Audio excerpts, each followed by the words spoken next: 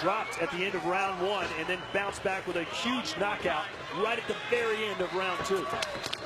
And they oh, Jouban on his back. Jouban covering up. Price going into finish. Oh, the referee stopped it oh, already. That may have been heard. That, no, maybe not.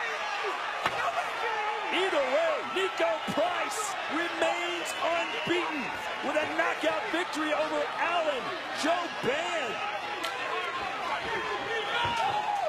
Well, Price didn't complain.